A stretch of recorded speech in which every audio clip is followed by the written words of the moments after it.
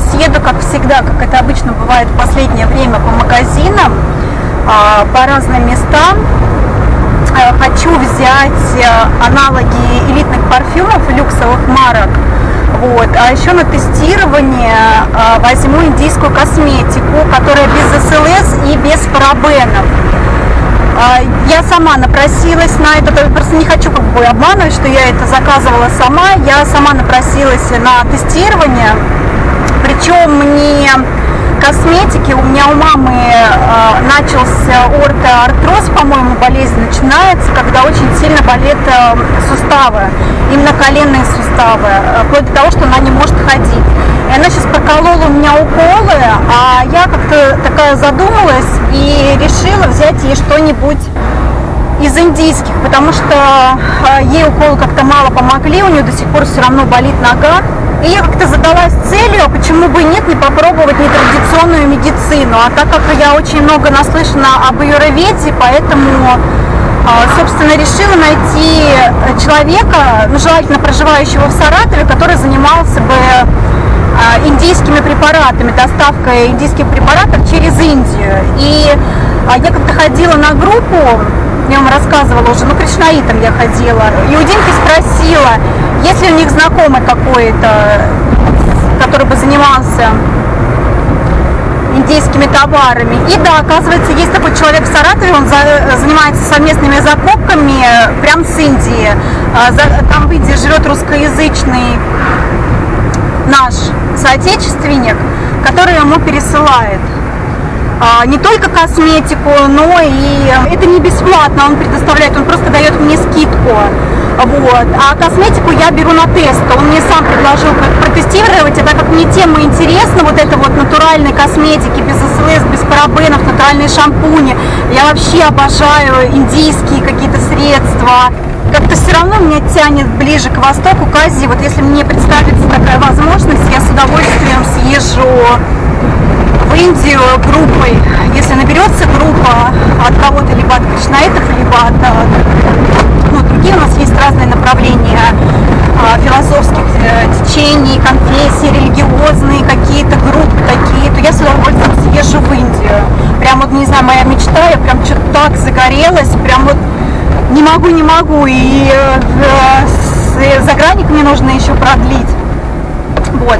И еще в другое место я еду, это аналоги парфюмов. Блин, у нас дороги это просто вообще какой-то трендец. Аналоги люксовых брендов, а, там производят они и Килиан, и а, Малиокулу даже. Но об этом я поподробнее расскажу, почему именно не оригиналы, а почему у меня есть две причины, почему есть смысл даже попробовать аналоги люксовой парфюмерии.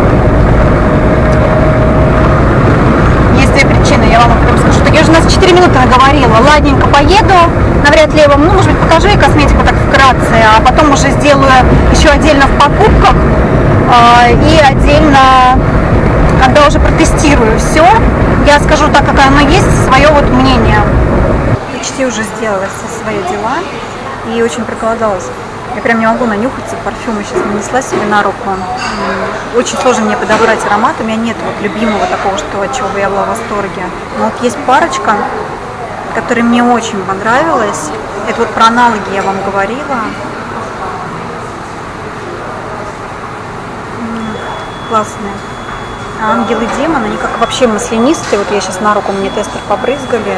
Прям масло такое на руке, прям есть ощущение небольшой липкости.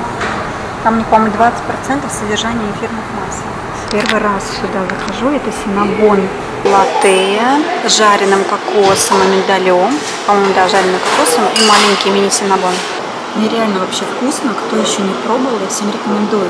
Еще я ехала, здесь приколы расскажу, благосклонно к нам вселенная, к многим из нас. А, это центр, торговый центр. Но сам торговый центр, он находится еще в центре.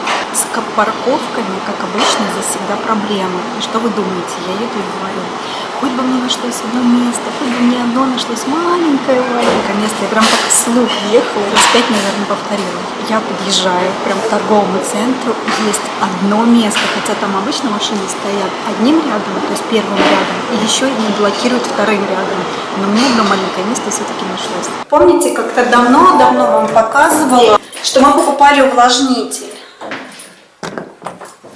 увлажнитель для воздуха. Вот такой вот скарлеттерский. И в итоге нам приходится его сейчас возвращать, причем как клиентка без особых проблем. Ну, по крайней мере, по телефону согласилась а, взять его на возврат. Он у нас не падал, ну ничего такого страшного ну, мы с ним не делали, просто пользовались, ни разу не упал. Но пластик, наверное, настолько хлюпкий какой-то, что он просто на мелкие трещины, вот как паутинка бывает, ну, паутинку вы видели, вот так вот он раскололся на мелкие-мелкие частички. Это не ваш, вообще не Сейчас я буду пить чаечек с такими вот вкусняшками. Купила я их в ленте.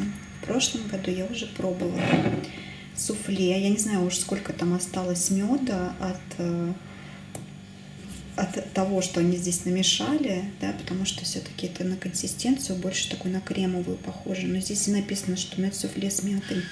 И я в прошлом году брала с малиной. Вы не представляете, какая это вкуснотища.